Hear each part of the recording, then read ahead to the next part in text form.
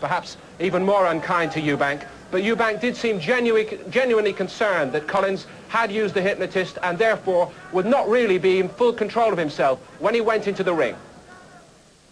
That's why I'm afraid. That's why um, I wanted to call the fight off. That's why I would call the fight off if I could now. Because I'm going into unknown territory. The 43 fights I've had in the past, I've always known what I was dealing with. I don't know what I'm dealing with tonight. I'm fighting someone who is mechanically uh, orientated. And that is just an unknown area. It's not fair that I shouldn't be put into this situation. I don't know of too many top sports people that don't employ, I won't say hypnotists, but certainly man motivators or sports psychologists. This is quite common in today's world. I don't believe it gives an edge. It certainly doesn't give a physical or a technical edge. If it makes people believe in themselves, if they need that type of mental backup, you know, I don't see anything wrong in it. Um, I suppose you could argue that Eubank is probably his own best self-hypnotist, that he motivates himself to such an extent, and that's why he's been involved in so many titanic struggles. From my point, it's no great advantage. I think it just clears the mind, and, and then the, obviously the job has still got to be done. Is there any such thing as hypnotism? Yes, there is. You know, and if I don't, if I pull out the fight now, then I lose credibility, is what I'm told by my manager Barry Hearn. I don't want to lose credibility. So tonight I'm going to be switched on um, and I'm going to be careful and I'm going to be aware of everything that's happening and what I see in front of me.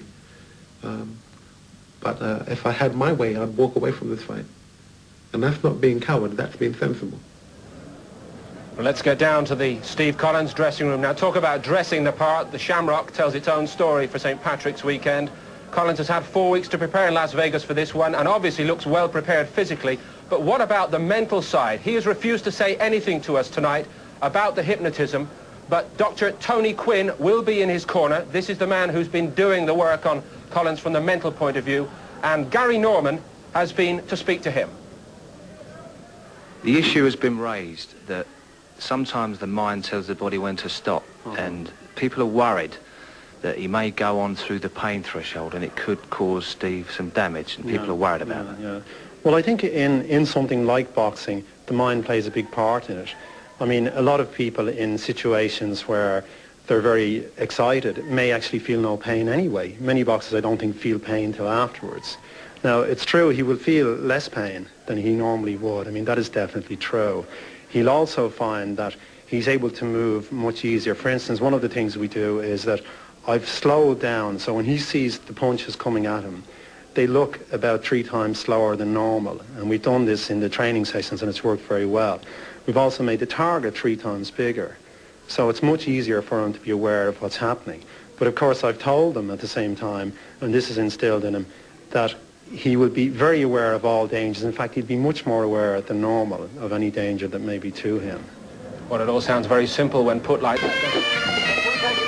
The sons and daughters of Ireland in far-flung corners of the globe turn their thoughts homeward on St. Patrick's Day to the parishes and small towns that are the heart and soul of this country. But in Mill Street, all talk is of the big fight. This is going to be a great fight, and uh, I think Collins is going to win anyway, definitely. I'd prefer Steve Collins to win, but I don't think he has much chance. We'll have to stay with Steve for the sake of being Irish, but uh, I hope to go the full distance. Talk about excitement. Here's what happened at the weigh-in. Two and a half thousand people greeting the fighters to the ring. Ladies and gentlemen, Collins came in at 11 stone 13 and three quarters of a pound.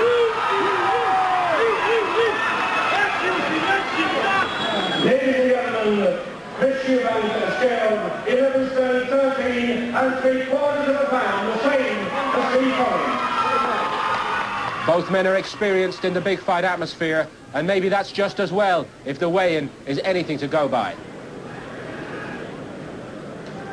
Right, that was the eve of the fight. A tremendous sense of excitement here, and the big one comes to you. Step five on the Eubank World Tour, live and exclusive tonight from Mill Street in County Cork. A wonderfully welcoming venue, but I wonder how big the welcome will be in the ring for Chris Eubank tonight as he fights almost exactly a local hero, Steve Collins, the Dublin boy, trying to make good in the big time and lift the WBO World Super Middleweight title. And the big fight off in about 12 Ireland. Mill Street is little more than a dot on the map, a village deep in the countryside of County Cork. yet it has become a centre of excellence for major events, cultural and sporting. And thanks to that, there is full employment here now. It's all down to the dreams of one man, Noel C. Duggan, horse breeder, trainer, and local businessman supreme. The, the town was stagnant and deteriorating, and um, I saw it all happening. And uh, when I got comfortable in my business, I decided in 1973 to run a small horse show in the town park. And we did it well and continued it for the next several years. And by 1979, six or seven years later, we were running our first international horse show. And that was only the start. Much bigger events followed, like the Eurovision Song Contest, and now tonight's big fight. And the locals are here in force, fixing, fetching, doing anything they can to make sure that everybody goes home with a memory of that special Mill Street hospitality. There is a very uh, happy community, a united community, uh, all working together for the common good. And uh, nobody's doing anything for money, but um, uh, everybody gets a kick out of what's happening. And uh, all other towns in the, in the region look up to Mill Street now and consider it to be uh, the, model, the model town.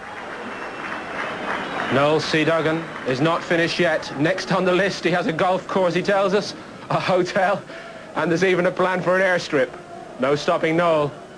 This town is onto a winner, certainly, in that respect. But is Steve Collins tonight? The first world title fight in these parts. It is a beautiful part of the country. We've certainly enjoyed being here.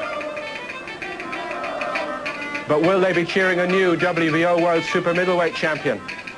We'll see you again. The big fight is just minutes away.